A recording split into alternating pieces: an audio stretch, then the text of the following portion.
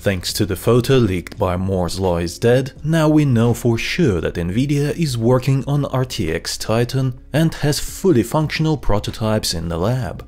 This new Titan is based on the same Ada Lovelace architecture found in the recently launched RTX 4090 and 4080 graphics cards, and is designed to deliver unrivaled performance untouchable by the competitors. In this video, I will tell you everything I know about the RTX Titan, including its performance in games compared to RTX 4090, RX 7900 XTX and other currently available graphics cards, as well as its specs, possible release date and price. But first, a quick message from my favorite sponsor. Buy your Windows 10 or 11 key for less from cdkeyoffer.com at the link in the description below. Use code IV20 to get a 25% discount that brings the price down to as low as $16. You can securely check out with PayPal and receive your Windows key in minutes, ready to be activated on your PC. Now back to our topic. First, I want to show you what kind of performance the new RTX Titan would be able to offer, and then explain why this level of performance is possible when we discuss its specs next.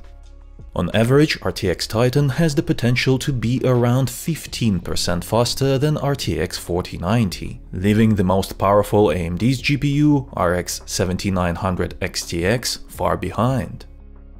And here is what that would look like in some of the games we know. Titan may achieve 95 FPS average in Cyberpunk 2077 at 4K resolution with graphics on high quality preset. Easier to run AAA games like Halo Infinite would be running at above 144 FPS average, which means that you would be able to enjoy this kind of titles on a 4K 144Hz screen utilizing its high refresh rate capabilities to the max. And if you are wondering about competitive gaming on a 4K 240Hz monitor, then Titan would be very close to bringing that experience in Rainbow Six Siege on very high preset with 228 FPS average. Lowering a few graphics settings would allow to max out that 240Hz monitor. Call of Duty Modern Warfare 2 is one of the very few games where AMD's RX 7900 XTX is actually faster than RTX 4090. The Titan would retake the crown with around 210 FPS average at 4K resolution even in this title. Actually, Modern Warfare 2 is the perfect example of what Nvidia's CEO Jensen Huang wants to see in every benchmark chart, even the ones so heavily favorable towards AMD graphics cards. Titan would humiliate the competition, claiming the performance crown in every game. But to get there, RTX Titan must be specced out accordingly in terms of hardware. Let's analyze how Nvidia can achieve this goal. Right now, there are a couple of things we know for sure about the new RTX Titan. The prototypes in Nvidia labs look like products that are good enough for retail, what I mean is that at least visually the RTX Titan Founders Edition cooler quality is very close to what we see on the retail versions of RTX 4090 and 4080 Founders Edition in the shops right now. So it does not look like an early prototype, which means that it is highly likely that Nvidia is close to ready to manufacture the Titan. That is, if they want or need to launch it of course. If AMD manages to fix the performance problems in their RX 7900 XTX flagship card and it gets close to RTX 4090 in gaming benchmarks, then Nvidia will most definitely launch either an RTX Titan or RTX 4090 Ti to assert its market dominance. Most recently, we have seen the same behavior from Nvidia when they launched RTX 3090 Ti to counter AMD's RX 6950 XT, which has surpassed RTX 3090 in terms of performance in games. Another thing that we know for sure is that RTX Titan has a different cooler than the one found on RTX 4090. 4090 takes up 3 slots in a PC case, it is capable of cooling a 450 watt TDP GPU and weighs almost 2.2 kilograms. That is about 4.8 pounds. However, the RTX Titan is on a completely different level of huge. It takes up 4 slots in a PC. I estimate that it is capable of cooling a 550 to 650 watt GPU as easily as RTX 4090 Founders Edition cooler manages with 450 watts. As for the weight, I estimate that it is close to 2.8 kilograms. That is over 6 pounds. You definitely need some sort of a GPU support device to hold that much weight in order to stop it from breaking your motherboard. The new Titan is likely to have a 550 to 650 watts TDP. To deliver this amount of power safely, this thing is equipped with not one, but two 16-pin power connectors. Since currently there are no power supplies that offer two 16-pin power connectors, and very few offer 8 or more 8-pin GPU power connectors, Nvidia will likely bundle the Titan with two 16-pin adapters which split into three 8-pin connectors. This adapter is good enough to power a 320 watt RTX 4080, so 2 should be okay to power a 600-ish watt Titan. That would bring the total number of required 8-pin power connectors to 6, which is manageable on most high-end power supplies. Apart from increasing the power consumption to boost the performance, Nvidia has plenty of other levers to pull in order to achieve that 15% or higher increase versus RTX 4090.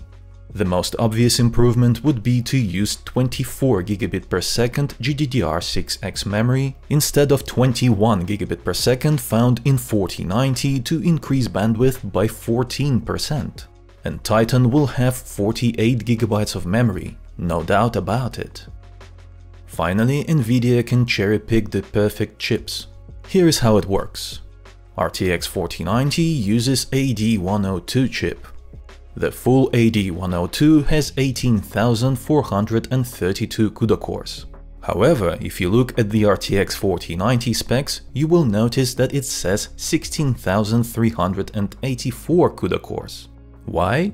Well, not every chip comes out perfect out of the factory. Some have defects and parts of the silicon have to be disabled to make the chip work properly. It is a normal procedure in chip production, hence why we get less cores in RTX 4090. Because it uses cut down AD102 chips that were not good enough to become a more expensive product such as this $7,000 RTX 6000 Ada graphics card for data centers, which features 18,176 CUDA cores. That is 11% more cores than in RTX 4090. It is likely that Nvidia will use the same 18,176 CUDA core chips to power the new RTX Titan. But lower core count configuration is also a possibility. Everything depends on how good the chip manufacturing yields are for this particular design. If the yield is not good enough and Nvidia gets very few good chips that can perform well with close to maximum CUDA cores enabled, then it makes more financial sense to keep selling the perfect chips at $7,000 a pop to the data center clients as RTX 6000 Ada cards. In this case, we could see a Titan with just over 17,000 CUDA cores instead.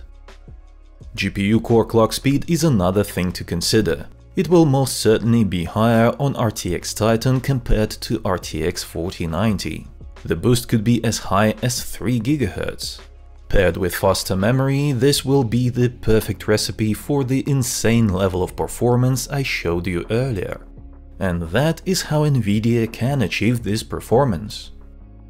Although there is no indication that RTX Titan will come out anytime soon, so I do not recommend waiting for it specifically. Consider getting yourself an RTX 4090 if you are in the market for the most powerful graphics card. As for the price, I don't see why this Titan would cost less than $3000. It would be a Halo product for gamers, and in addition to that, I am sure that professionals would also jump on the opportunity to grab an alternative to the $7,000 RTX 6000 Ada graphics card. Actually, this is the reason why I think Nvidia may not launch the RTX Titan after all. Surely the company wants to make as much money as possible and it just does not make sense to give that $4,000 discount to clients who would otherwise buy an RTX 6000 Ada card. I think that it makes more sense to launch RTX 4090 Ti with 24GB of memory instead.